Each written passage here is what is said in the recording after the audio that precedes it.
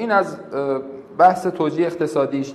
قارچ دکمه هم که خدمتتون می‌خوایم امروز آموزش بدیم. قارچ دکمه الان در کشورمون و کشورهای دیگه مصرف بالایی داره عرضه و تقاضای بالایی داره.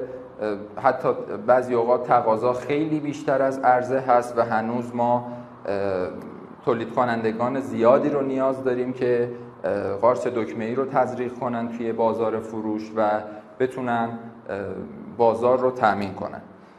پس با این وضعیتی که الان قارچ دکمه ای داره برای تقاضای بازار خب کار خوب و مناسبی هست که شما بتونید ازش استفاده کنید و یک سرمایهتون رو رشد بدید و یک سودی رو از آن خودتون بکنید.